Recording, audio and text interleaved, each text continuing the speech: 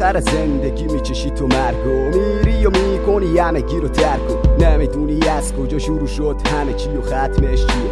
زنده ای اما نمی‌دونی برای چی همه یه وقت میگذره الکی. بین همه مردم خودتی و خدا به ترکش نکن و نشو ازش جدا. تموم زندگی توی خط فقره زوم بدبختی هم همیشه از روی سرت نمی‌فهمی چجوری شب میشه روزات. انقدر خسته ای نمی‌تونی وایسی صاف رو پاهات نمی‌دونی چجوری راه حل بوری زندگی فیلم و بازگرش نی. ببین پا نز روی باورهات از حال و فکر به فرداهات همیشه هم فراری از جماعت. دنبال راه کاری پا به پای حماقت. خودت چیرژه می‌زنی توی تله. جوونیت میگی واسه پول و بله. تنها یه سیگارت کام می‌گیری.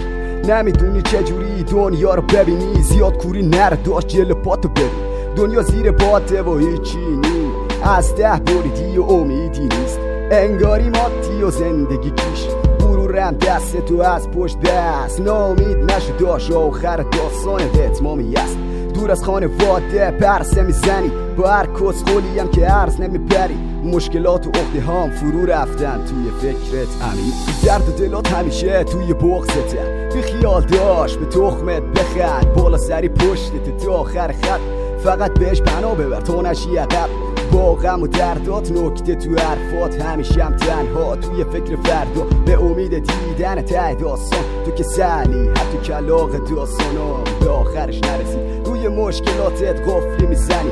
میگی زندگی مثل یه قمار گنده است. یا میبازی یا می‌بری. اتک زدن روی مخت آجی سر زندگی از هم پاچید. فریادات همیشه از ته جا.